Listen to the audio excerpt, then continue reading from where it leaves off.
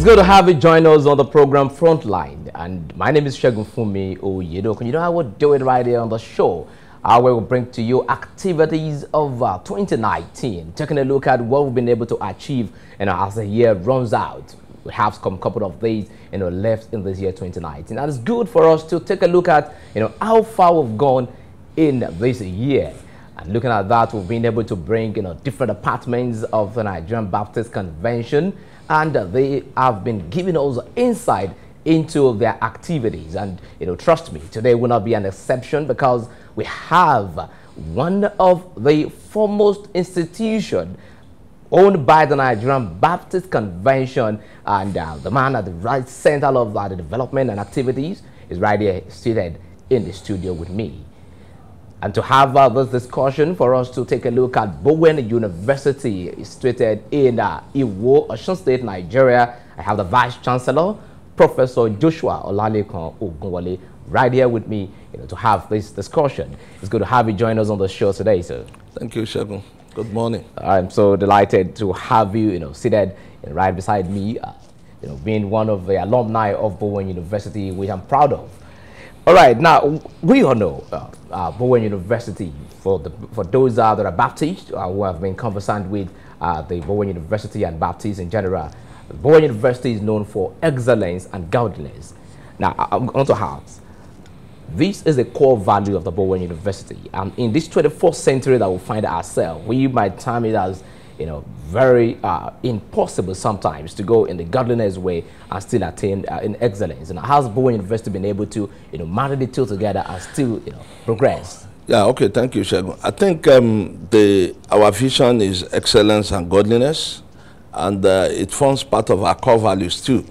Uh, our core values start with godliness and uh, excellence. With our vision, what we're saying with excellence and godliness is that the denominator on which you will build excellence must be godliness. If you want a sustainable excellence, then um, you have to develop certain godly traits. And this cannot happen except you have an encounter with the Lord, the Lord Jesus himself. And so that is the, um, the desire and the thinking of the progenitors of the Bowen University um, project.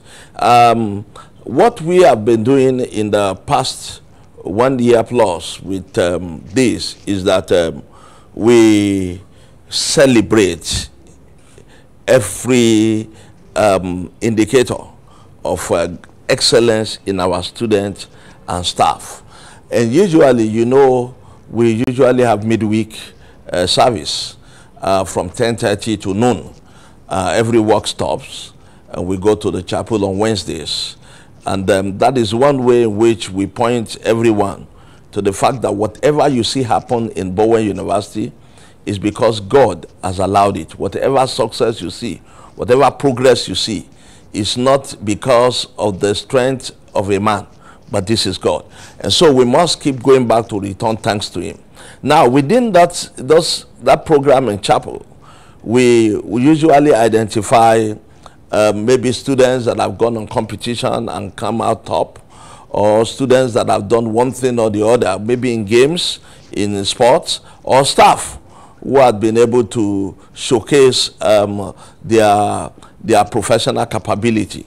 And then we bring them out. We actually really celebrate them. We, we, we share briefly what they've done.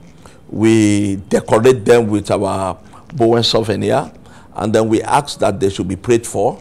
And then we usually, immediately after the chapel, they go to have a lunch, either with the deputy vice chancellor, with the dean of students here, depending on the, whether it's a student or staff.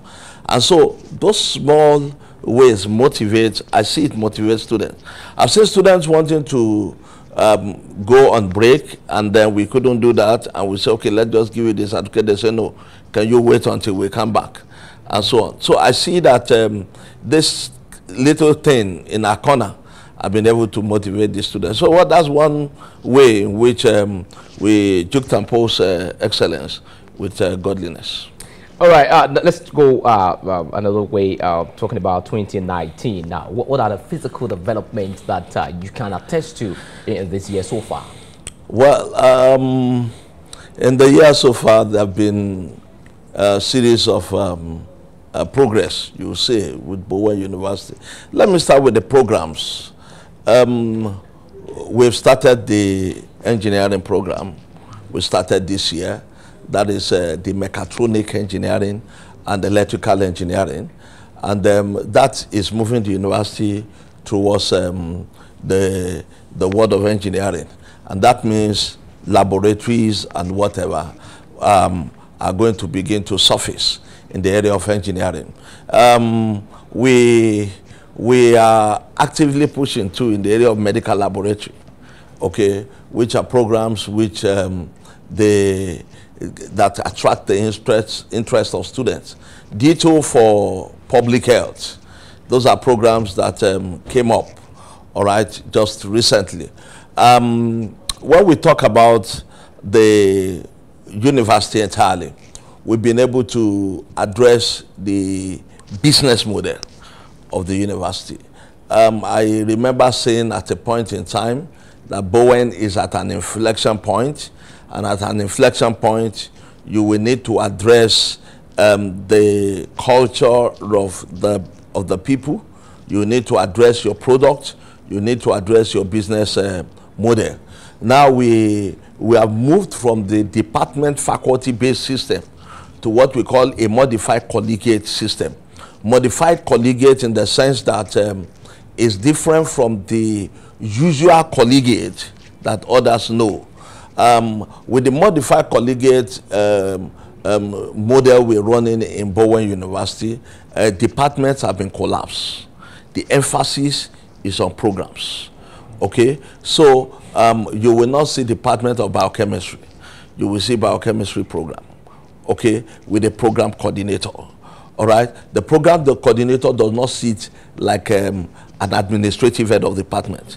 He sits like a research team leader or a discipline team leader. These are two different things. He does more of um, facing the academic aspect rather than uh, the administrative aspect of it. Now, we have moved the entire administrative thing there to the to the college level. Now the, the, the faculty system are giving way to, to the college system. In the college system, you have a provost. All right. You may, depending on the kind of college, you may have a vice provost. All right. Then you have a college administrator who serves like a registrar for that college. All right. And then you have a college accountant that serves like a bursar for that college. So a student may not have anything to do with the vice chancellor, may not have anything to do with the registrar. Everything he or she wants to do ends at his or her college. All right, it's like a one-stop thing. Okay, so um, all the the administrative work that is supposed to take place in the departments have been moved to the college level, so that what you have before in departments and in faculty now resides in the college the provost has the power now to approve a fund up to a certain limit. Every college have a certain amount that have been budgeted for them. And so they keep spending. Meaning that you don't need to come, every paper doesn't need to come to the vice chancellor for approval.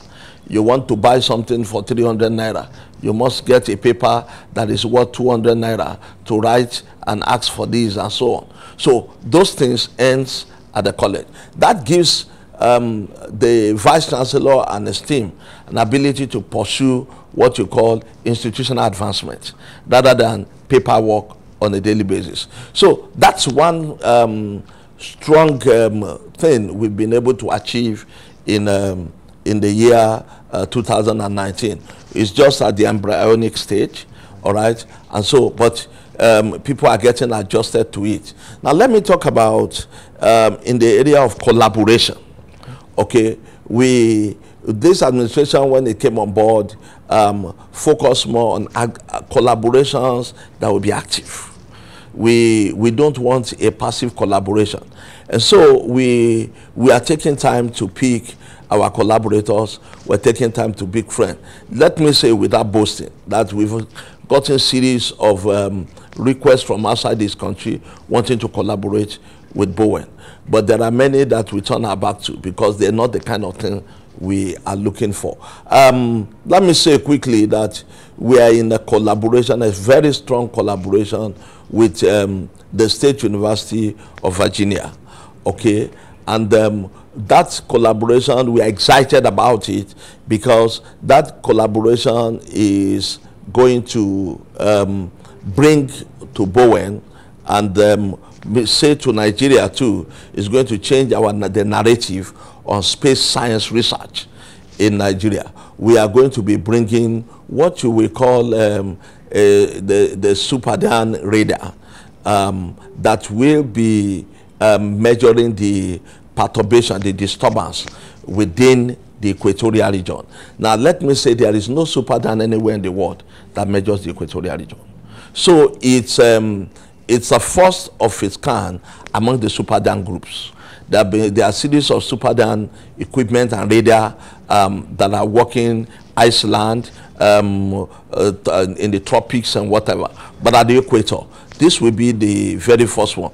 We're excited as much as the, um, the State University of Virginia too is excited. The National Space Research Development Agency uh, in Abuja also has uh, joined us to collaborate and we actually need them in this work. So that's one area in which we have a very active and positive collaboration. Another one is that we're collaborating with Calvin University. Actually, in um, sometimes in March um, next year, by the grace of God, the president or provost of the Calvin University will be visiting Bowen. We've actually invited her, and uh, she has actually agreed to come. Uh, in while we were talking about renewing our collaboration, we came forth to say some things we want, uh, we, we desire, and um, we had this meeting um, by Skype. And uh, they, they also asked, well, how committed is Bowen? And uh, my response was that if you want to know the commitment of Bowen, pay Bowen a visit. Okay? And um, in the course of that discussion, she accepted the invitation. So she will come in. And one of the areas we're going to be looking at, actually Calvin University had been doing something with um, uh, Bowen University when they were Calvin College, all right, um, in the area of nursing. But now we want to look at the entire um, health sciences along with our computer um, system, uh, the computer science.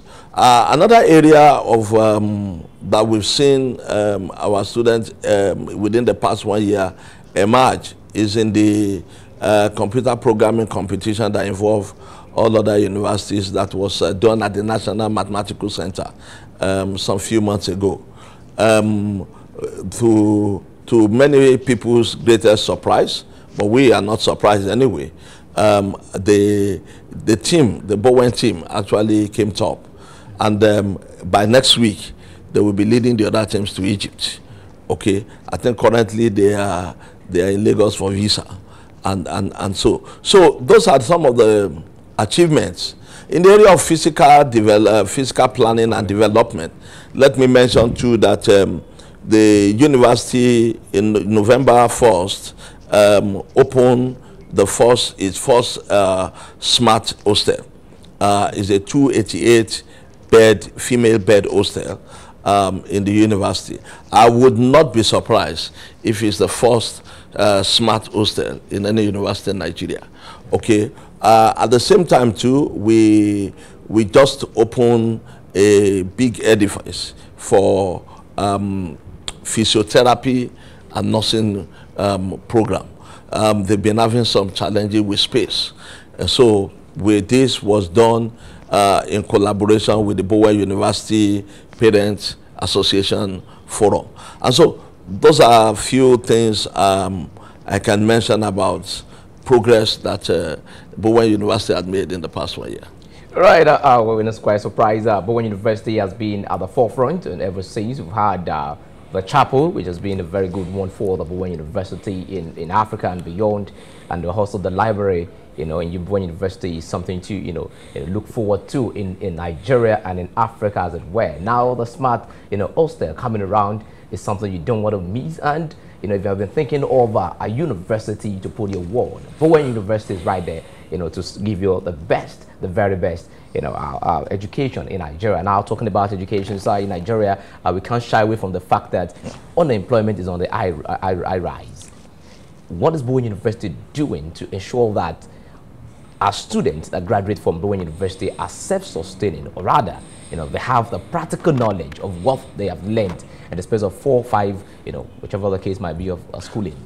Okay, thank you, Segun. Um, the when this administration came on board, one of the first things we addressed and uh, we started talking about was the fact that you cannot work teaching or learning the way we were taught. And you will get the kind of results that is expected um, for the jobs of today or tomorrow. And so one of the first things we did was to focus more on our entrepreneurship program. Okay, Bowen had been known for years, decades now, with skill acquisition in the area, uh, in that aspect of entrepreneurship. But like I keep saying, I wouldn't send my daughter to the university to read law only for my daughter to come and open um, a, a hairdressing salon.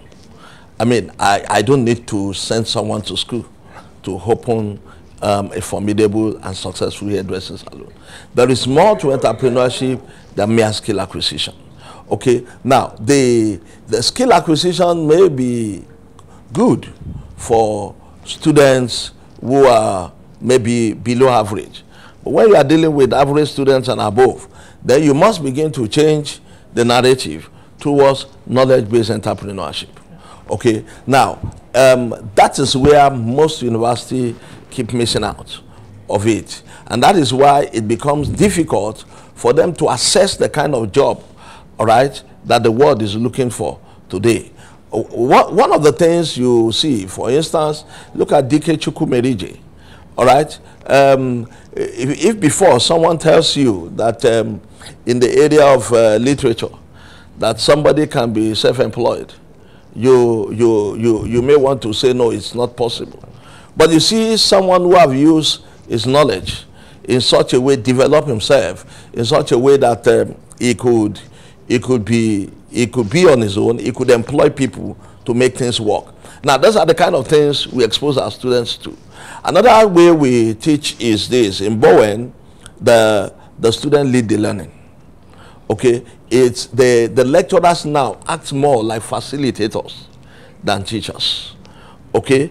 And that's why the first thing we're, we're doing now is that um, most of our students will begin to read their notes or whatever from the applications. So there are apps that have been developed for them to be able to connect and read. So that when they come to class, it's actually about discussion. It's actually about group work. It's actually about um, field experiences. Is is not um, the kind you pick your pen and pick your and uh, you are listening to dictation, which had been the way we went to school. Okay, and um, that's those kind of things are the things that can actually open the mind. We also take them more. I think the, in the past one year, Bowenites, that's what we call our students, um, have gone out on excursion more than what they've done in the past three years put together. Okay, currently as I'm speaking with you, we have 10 students in Unical now. They arrived late yesterday night and they were they're going to be involved in the national debate competition in Unical. All right, we have our students move around. We encourage that, okay, because we know that uh, exposure-based learning is one way in which you can also address the challenges of uh, of the job market, even for today and tomorrow. Uh, finally, one other thing we do also is this: we we bring great minds to the university to interact and connect with our students. Uh, recently, we there was this uh, young man we saw on the, the, social media that was using some certain rotors to um, to to make turbines, and uh, he actually um, a clip where he placed those um, turbines in, a, in water and was able to generate electricity. Okay, we flew him in from Calabar when we located him. We told him, come talk to our students. What are the things? Have you been able to do this? So he connected it with our students. He spoke with them. They had a good time, and we saw it's a good time. We asked him, would you want to come on board to join the Bowen project? Because let me say, currently, he's with us in Bowen. Now, um, recently too, there is this um, one Mr. Obasanjo that um, that developed one uh, uh, amphi um, uh, a car, maybe how do you call it? Yes, and um, and uh, we actually invited him to Bowen, and uh, we paid for him to bring that that car, and um, he came to Bowen. Student looked at it. Student picked him up. Student engaged him. Student asked him how he was able to develop, move those cabs to do whatever. Now we he had a good time too because he told me when he was finishing that the, the way they, he was engaged was quite challenging. And now that's the kind of minds, that's the kind of way we teach our students. In the fact that um, you just don't see something and just quickly uh, swallow it.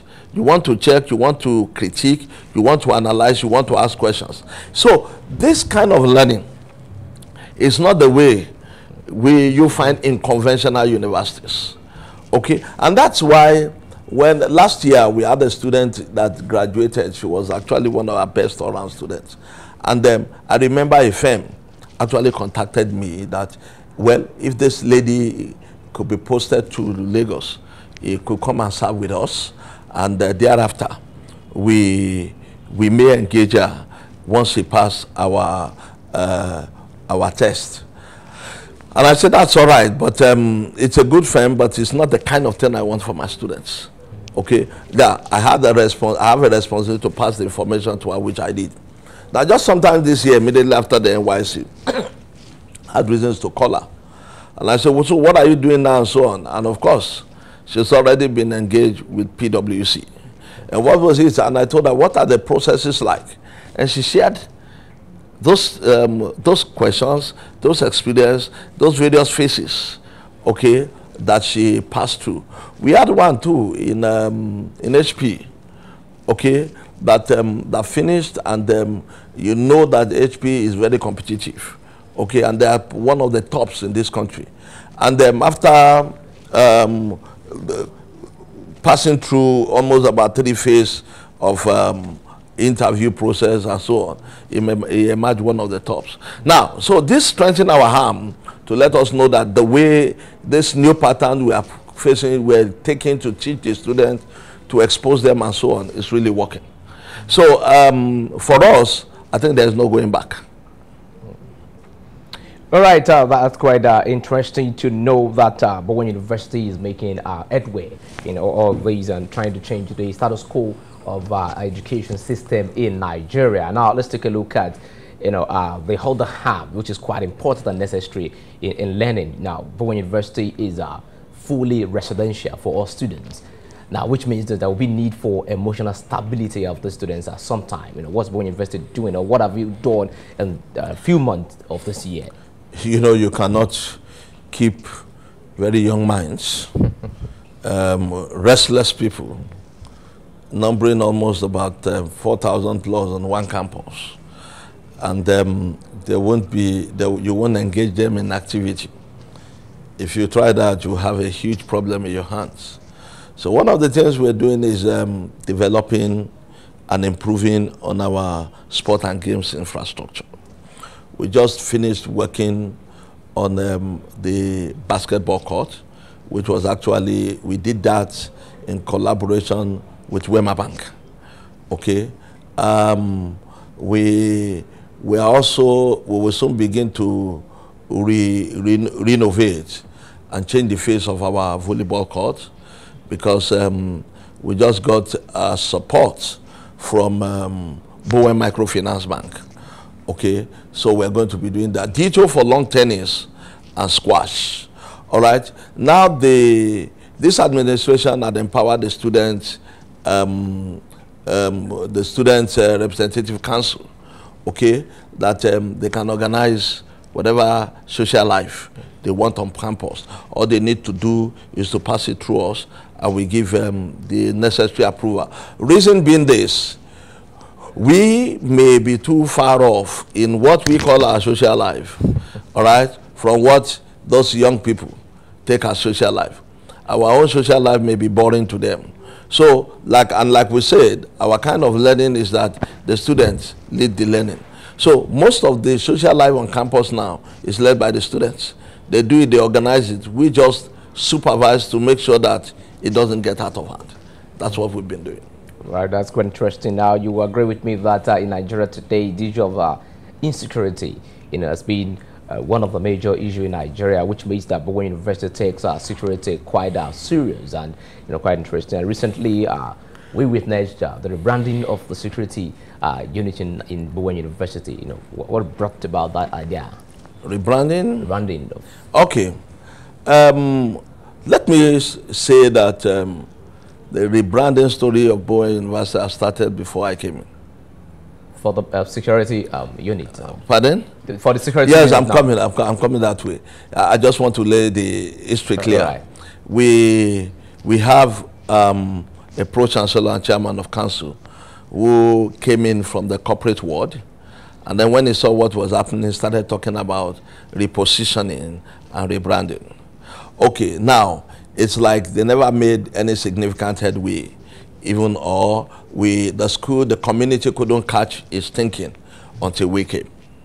All right, so when we came, we decided that we plan to take the repositioning and rebranding to the next level. Okay, and um, one first area we notice is that um, the, the security outfit of the university is is, is not professional. Okay? Uh, and um, another thing, because it's not, um, at times they, they leave most of the entrances or means to come into the university, make them a bit porous. And so one of the first things we did was to address that matter. And you know, in most cases, um, just like the Bible says, strike the shepherd and the sheep will scatter. So the, in most cases too, if you want the sheep not to scatter, then make the, the shepherd strong so that it will not be, it will be difficult for him to be, to be stricken. And so what we did was to actually address the leadership of, um, of um, the security. And what we did is when the third period of this one was ending, we invited three professionals to come on the interview uh, panel. We, we made it a, a, a two-stage interview. We brought in a retired brigadier general, we, uh, who, who, who is a combatant um, man. We brought in a serving um, colonel, and we brought in a serving commissioner of police. And so we placed them, we, we just gave them the, the papers, and we, we sat behind and allowed them to uh, advisors. And they did that, they made their choice, they, they were really very professional. And to a large extent, um, their, their individual assessments converge. And so we, the next thing was to now shortlist and invite those ones to have interview with us. So uh, after that, we were, we were able to pick someone who will lead our um, uh, security outfit. Don't forget that um, what this administration is doing is that whoever is going to take leadership in Bowen University, all right, is life must reflect our five core values. Godliness, excellence, entrepreneurship, innovation, and social responsibility. Now, that does become what we do when we bring you on a recruitment interview panel. All right, we want to be sure that you, your life can reflect our core values want to be sure that if this guy comes out and is working in the marketplace, okay, and our core values is moving to, they will find a point to converge. And people will say, we bet you are from Bowen. And say, yes, but why? I say, no, I just know it. All right? So that we've seen um, taken through, it could be an expensive way of recruiting, but we've seen that that have actually helped in uh, professionalizing our security outfit. They do internally, we train our security. Every two two months now they go to they go to training internally. Okay, we've been able to change, boost their morale, and then we've been able to make them know. Also, once in a while, we also have a Bible study with with them.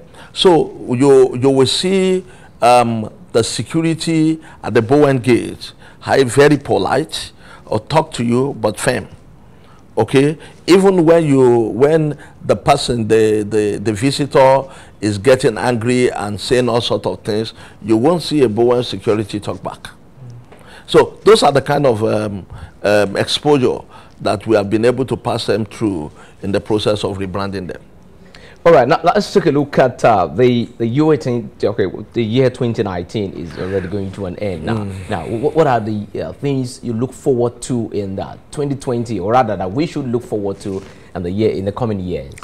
All right. Um, recently, we had series of uh, retreats, and what we're telling ourselves is that um, you could have uh, very there are many good universities in Nigeria but you don't have a great university.